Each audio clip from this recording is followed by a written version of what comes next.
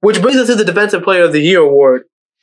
Now, this award um, has honestly become a lot more important in recent years, just based on the fact that defense is so important in the NBA today. Um, Well, certain kind of defenses, I will say. okay, yeah, certain types of defenses are important. Last year, the winner was Giannis Antetokounmpo, which was pretty questionable considering he also won the MVP award. But I mean, he it's not like he didn't deserve it, but historically, that's never been a precedent, right? Michael Jordan and Hakeem Olajuwon were the only two players who ever done that. yeah, so it was a little, it was a little strange seeing him win the Defensive Player of the Year award. But there are definitely still candidates this year that will will definitely do a great job on the defensive side of the ball. The first of which is Rudy Gobert. Now we've had our criticism of Rudy Gobert, you know, being an on and off player and you know not really being a good offensive player at times, though he's improved. Well, I mean, offensively, the thing is, he's a very good, I think, statistical offensive player in the fact that you know he does the dirty work He gets well. the rebound. he gets the rebounds. He well, he's one of the best screeners. But in terms of his talent in the offensive game, it's lacking. it's very lacking. But in terms of the defensive side of the uh, side of the floor, you can't deny he is still the, the best defensive player, the one of the best defensive players in the league, one of the best defensive bigs in the league. Like you don't want to drive in the paint with Rudy Gobert there. You just don't. Like even now, like he's just such a dominating presence. He positionally, a lot of the, what's kind of underrated, he knows where to be positionally Yeah. which really helps him blocking shots and just being an overall deterrent. Uh, and he's an anchor for Utah's defense. He's a very big factor, and you can see it when he, Rudy Gobert is playing well on defense. The Jazz have one of the best defenses in the league. When he's not playing well, the defense falls apart. So I mean, when he's off the court, the defense falls apart, right? There's a huge jump in their defense. When the thing with Rudy Gobert, you know, people will hate him because of his contract. Granted, we don't like the contract the extension, yeah, Yeah, that was terrible. But the thing that you are guaranteed about with Rudy Gobert, if he's on the floor for your team, your team will be a top six defensive team in the league, at least top ten minimum. minimum. Um, but your your team is probably going to be a top five defensive team in the league. That's what he guarantees you, right? Just by his presence on the court. I think going back to I think the deep the defense player of the year award in general. I think this award is also very hard to tell because of the fact that this award is I think predicated based on just I don't know how to say it based on what people feel. I guess there's no there's no actual statistics that can really help you determine who uh, is a great defender, right? You can look at the on and off Yeah, numbers. like- you can look at steals and blocks and whatnot and defensive rating, but those numbers do not tell the tale at all, right? Oh. You're looking at a guy like Steph Curry and Allen Iverson, two of the league leaders in steals. Do we say that they're great defenders? No. right? So I think the defensive player of the year award is one of those awards that's very heavily predicated based on name, which is why a guy like Rudy Gobert has won it multiple times. Kawhi Leonard won it multiple times when, for me personally, I didn't feel like he should have won it multiple Well, times. name and the eye test. The eye test, I think, is very key, which a lot of casuals never really understand how the eye test actually works. Yeah. There's a difference when you're watching a game and seeing the defensive impact a player makes. For instance, and not to be a homer, but OG Anunoby on the Raptors is one of the best three and D players in the NBA. Wow. Why? Three is right now. It's Right now, it's a little questionable. But the defensive players, he's one of the best ones in the league. Just based on the fact that you can just see him positionally where he's at. He knows where he's where he's he's playing. He he plays the angles. He keeps his body strong. He's not making the little mistakes. He's not doing stupid fouls. So a lot of that comes from the eye test, which is where these candidates come into play. Rudy Gobert in particular.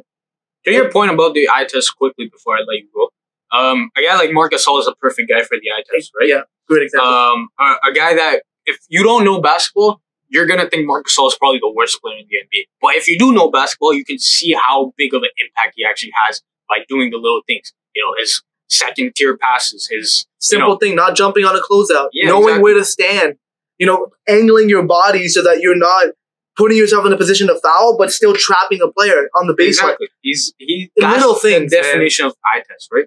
Uh, I'll let you go. Yeah, little things like that. But that's really why we put Rudy Gobert as a candidate for the Defensive Player of the Year award. The second candidate is going to be Anthony Davis. Anthony Davis was a defensive monster last year.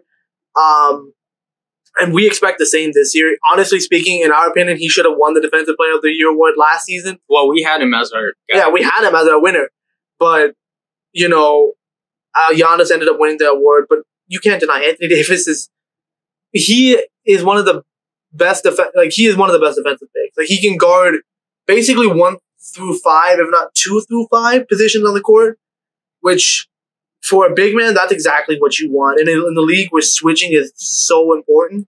Now, I think the one thing that might hurt him is the fact that with Marc Gasol, I think, I mean, this was also the case last year that he's probably going to play on the perimeter a bit more. Especially, I think we've seen this season too, where LeBron James, they're going to rest him even more on defense. So Anthony Davis, a guy like Anthony Davis was guarding Kawhi Leonard in the season opener, right? So he's probably going to be on the perimeter a lot more, which is why you've seen in the first couple of games that his blocks, uh, his block numbers have no, been nowhere near what they were last year. I think that'll even out as the season goes on. But I think in terms of the Defense Player of the Year award, it's impact is a big thing, right? Not just the stats, but the overall floor impact. And then I think also the thing for Anthony Davis is the fact that a lot of people had him as their defensive player of the year last year. So we all know how the awards work. If a guy is, you know, for example, second last year, they might give it to him this year. Right? It happened to Rudy Gobert, actually. Exactly. Uh, which brings us to the third candidate for the Defensive Player of the Year award. We have Bam Adebayo, who, honestly speaking, honestly he's one of the best. He's a very good defensive player. Man. He's one of the best big men. Like, um, I don't know when I, I think I saw it in the preseason game when the Raptors played the Heat. Just Bam just swallows up the paint, man. He made it impossible. Like there was a there was a moment where Bam made a chase down block and he blocked a shot. I think who I don't know who made this was taking it was late. Maybe it was Fred VanVleet. He Fred VanVleet threw, threw a high layup off the glass. Bam came out of nowhere. Give me that shit. Slap that shit right out the air. Like the amount of athleticism you need to, to pull something off like that is incredible, and the amount of hustle.